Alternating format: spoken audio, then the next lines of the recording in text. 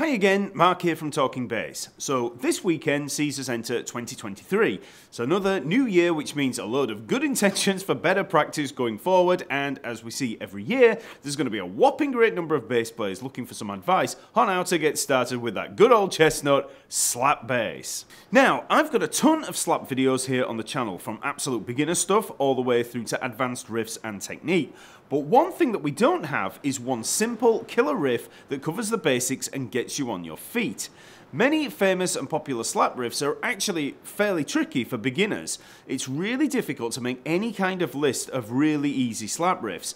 The riff that I'm going to show you today, I've written specifically for this lesson, and it allows you to practice the basic techniques of both slapping and popping, your note control in the fretting hand, a clean technique by way of muting, and your hammer-ons. It's an incredibly simple riff from a musical standpoint, but it's packed with content for subtle, focused practice.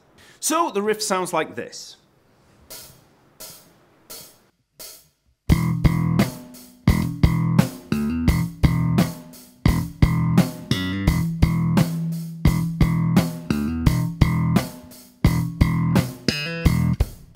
Okay, so let's have a look at the basic notes and rhythms in here. So we've got this basic first bar and then we repeat it three times with some uh, basic variations in there. So for the first bar, we start on an open E string, played twice. So that's two eighth notes, one and. First note cut short, and the second one for a full eighth note. But I'll get back to that in a minute. This, so this is all about the note control. Then for beat two, we've got a rest, so one and two. Then we repeat our first beat on three, so one and two and three and. And then in beat four, for the final two 16th notes, we have this hammer on we slap the D there at the 5th fret of the A string and we hammer on at the E at the 7th fret. Okay, very simple. So, that's going to be on the last two 16th notes, so we've got 4E and Da. Okay, so 4E and Da. Okay, so all of that slowly. 1 and 2 and 3 and 4E and Da. Okay, so that's the counting of it, just in case you can't get it by ear. So 1 and 2 and 3 and 4E and Da. Okay, so we can play that round to round.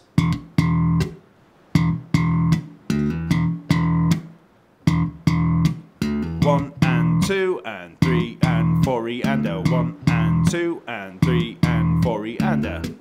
Now, I know many of you are probably not going to want to get too much into the counting of this and you're going to want to, you know, feel it, but when you're actually learning riffs like this, especially, you know, funk bass lines, things like that, it can help to really, you know, focus in on the counting because it's going to give you more accuracy. So when you start playing along to, let's say, the drum track here, if you're, you know, a little bit off with certain parts or rushing certain parts, counting it is going to really focus in on the timing and you're going to be, uh, well, you're just going to be a lot better rhythmically. Okay, so for the next three bars, we've got pretty much the same thing, but we just replace the hammer on from the D to the E with something else. So for the second bar, we're going to replace that with... So that's the F sharp to the G, fourth fret to the fifth fret on the D string. We're going to pop that with the first finger.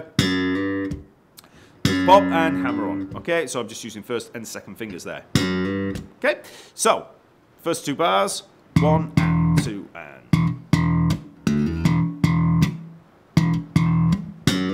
The third bar is just a repeat of the first bar. And then for the fourth bar, we replace that D to E with D to E an octave higher. So 7th fret to 9th fret on the G string, popping the first note and hammering on. So you can use the first to the third fret, uh, finger.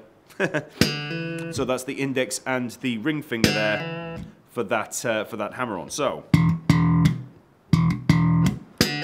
So that's all the notes in the riff, so let's just try through that slowly. So one and two and three and four and one and two and three and four.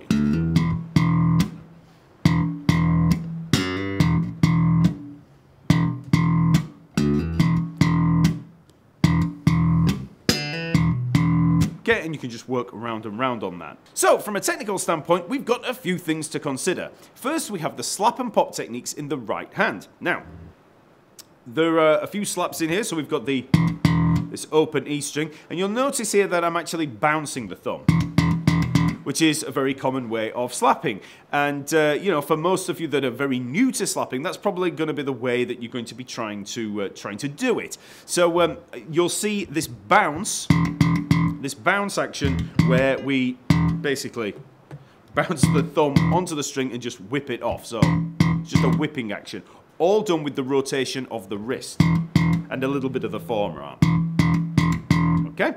Uh, you'll see people like Flea, uh, Mark King, well, well, I mean, pretty much most slappers uh, play like this. But you might also see people like Victor Wooten and Larry Graham playing more of a rest stroke where they actually strike through the string. And you get a lot more body with that, uh, with that action. And also it facilitates double thumbing when you get a little bit more advanced. But, um, you know, completely down to you which way you want to play, whether you want the bounce. If you're finding the bounce too difficult at first, because some people find the action a little bit tricky, then you might actually try the, uh, the rest stroke. Try playing through the string. Just strike the string with the side edge of the thumb and come to rest on the A string. Try that. That's that is an option. So that's the slapping action, but we also have the popping action, and that's very straightforward. Just take the first finger, place it under the string, so let's say the G string there, raise it up a little bit using a curled finger, and then just bring it up and let it go. You don't want to bring it up too much, don't pull it right out of the body. It's just a slight movement with the finger, just a, a twisting action in the wrist, just to get that pop there, okay? And that's it. That's the thumb and the, uh, and the finger, slap and pop. Next up, we have the technique and positioning of the fretting hand. Now, this is going to play a huge role in the note durations and note control coming up. Many beginners think that slap bass is all about the slapping hand, but the fretting hand plays an equal, if not more important role in many different ways. So let's take a look at our hand positioning, and we're going to use something that I've talked about many times on this channel, a technique that I've named home position. And this is a great default starting and all-round position for the fretting hand in whatever style, and it allows us to start from a position of absolute silence. So, take the thumb of the fretting hand, place it in the back of the neck, somewhere between this edge and this edge, so just there in the middle. Then you want to bring the fingers down and the uh, you want these fingers parallel to the strings. We don't want to be coming in at an angle like this or like this, which for the default position you want them parallel. So use the uh, second and third fingers as a gauge for this. Look at those frets, see where they're running, and just get those fingers lined up there. So, then, what we need to do is take that first finger and then just lay it lightly across the A, D, and G strings. So I'm doing this at the fifth fret so that we're in position uh, for all of this, all that stuff. So first finger there in, uh, in position of the fifth fret, but, you know, depending on the line, you know, you're going to have it in different places. This is just for this example. So that finger's there, and you'll Notice that if you were to play down through those, you'd get some harmonics. Then take the second, third, and fourth fingers and then just bring those down to lay across all of the strings. So the fingers are probably pr protruding a little bit past the uh, edge of the neck there. And then you'll notice that we get complete dead notes. So that's just ghost notes. Okay, so we've got a complete position of silence here. No matter what happens, we're not going to get any bashes or anything like that. It's all a very safe, quiet position. So now let's play an open E string. So we're going to slap this note. So remember the position there. We've got that first finger laid there across A, D, and G strings, and then these others coming down. When you go to strike that open E string, you simultaneously slap and raise these fingers here, the second, third, and fourth fingers. The first finger stays in position, okay? So, so we've got this motion going on. The first finger stays in position, just lightly laid across those uh, strings, and this hand is moving up and down. When we do this, we're keeping the A, D, and G string locked down. We're not going to get any noise out of there, okay? So the, we've isolated the E string. Okay, so we do that simultaneously. Bring the fingers up as we slap down. Okay? Then, when you want to cut that note off, when you want to choke it off, we just bring those fingers back down. Okay, so that's the two motions. We've either got the slap there, the strike of the string, or we've got the choking. And then if you want to play something like ghost notes, so when you have that kind of, uh, you know, whatever you're going to be doing with it, you know, any of that kind of ghost note action, we don't have to worry about this hand. It's all just taken care of. So as practice in getting a bit of note control with this home position, just try playing eighth note on, eighth note off with that open E string. Okay, so we're going to have one and two and three and four and. Okay, one, then choke on and, two, choke on and, one and two and. So you want to have good control over all of the note durations in any bass line that you play. And you know, so far we've only just played eighth note on, eighth note off. But as an extreme example, you could try playing very short staccato notes. So remember, it's all in this hand. It's nothing to do with this hand. It's all in the fretting hand. So just raise that hand and it's just a little raise and drop of those fingers. Just try getting those very short staccato notes. One, two, and three, and four, and one. And really focus in on getting a very short uh, attacking note. So you should now have a little better note control. So now we can look at those first two eighth notes in the uh, in the riff and use the technique that we've just looked at. So for the first note, we're playing a short staccato note. So, okay, so strike the string, we've raised that hand and just dropped it straight back down. That's the first note. And then the second one, we play a full eighth note.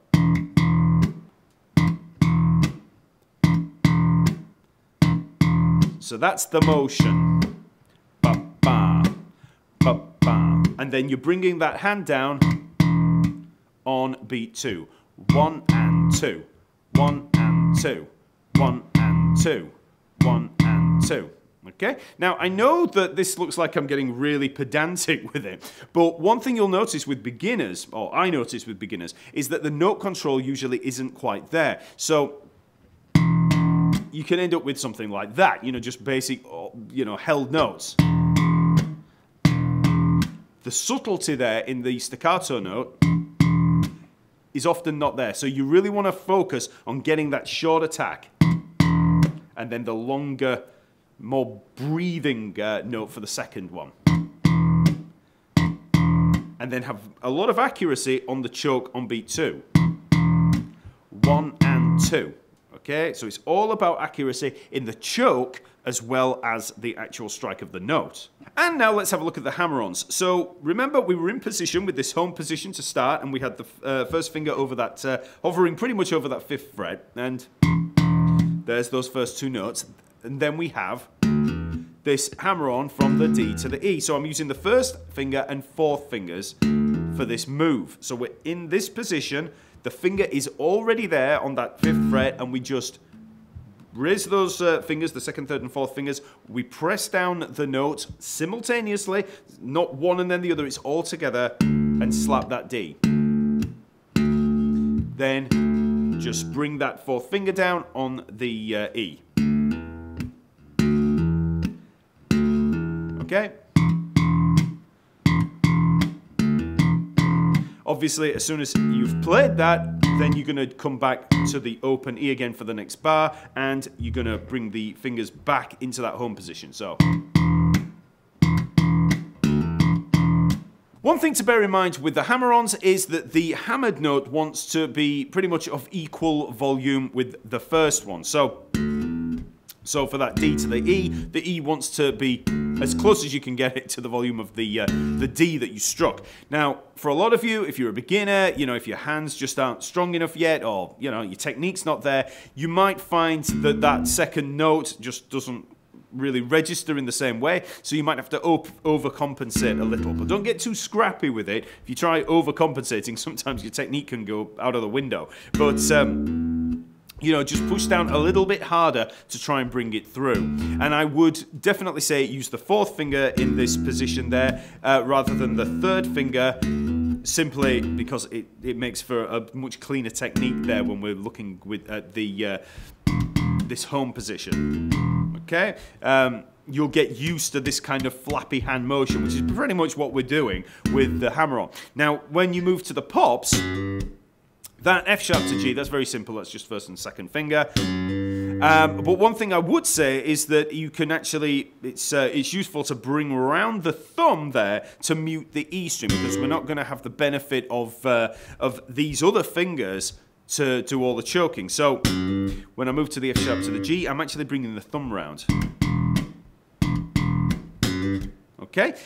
Same thing again, up on that D to the E there, 7th to 9th fret on the G string. I'm actually using the first and third fingers there as I bring up the thumb because it's a lot harder to hammer on with the fourth finger. It's almost impossible to do it with the fourth finger, um, with the thumb coming around to do the muting. And also, when you're in these upper areas, you're more likely to use the first to third finger in that three fret span. Down here, it's just a lot better for your actual finger positioning to have them over a three fret span, you know. So, use that thumb. Don't worry about keeping it down here all the time. Bring it round so that we can mute off that E string. So, bearing all of that in mind, let's just have another look at that riff played very slowly. So we've got one and two and three and four and one and two, three and four.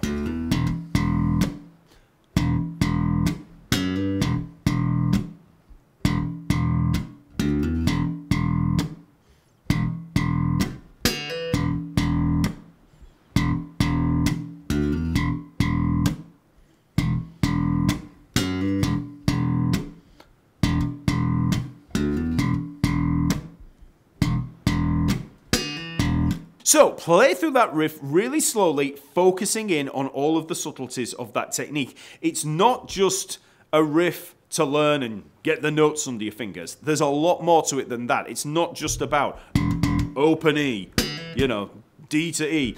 Forget focusing just on the notes. It's all about these subtleties. Focus on that note duration.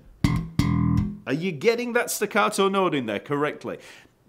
Hammer-ons is that second note of equal volume. You know, the, the actual muting of the uh, open strings, you know, when you're not using them. Are you getting any residual noise? It's all of that stuff that's going to make you just sound playing better and make your slap playing sound like slap playing. When you very first start out playing slap, it's really easy for it to just sound like a bangy mess. You know, you just end up whacking things and it just sounds like really hard picking. It's all of these little subtleties in the notes you know, these shorter notes, this the attack in the pops, you know, that kind of sound, that sharp attack, the short note duration on the pop, all of that stuff is going to be the thing uh, that you're listening uh, for in the playing of, you know, guys like Flea. When you hear that, you know, those kind of lines, it's you know, I know that he looks like he's just flailing away a lot of the time, really whacking the hell out of the bass, but there's a lot of good technique in there. It's, it's all of those subtleties in there that make it sound good. So that's our simple, perfect starter riff for bass. Remember, there are a ton of slap bass lessons over at the Talking Bass website, as well as the huge Simple Steps to Slap Bass course. So just follow the link in the info below. Also, don't forget to like this video, leave a comment, and subscribe to the channel if you haven't already. And I'll see you next week.